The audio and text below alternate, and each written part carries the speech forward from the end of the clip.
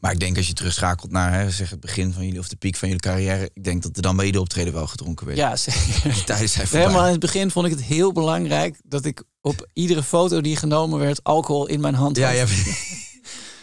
Omdat ik, ik dacht, dat het hoort bij mijn imago. Ja, maar dat betekent dus ook dat ik de hele tijd ook aan het drinken was. Omdat als het dan weer op was, moest ik dan ook weer iets anders hebben voor als er misschien een foto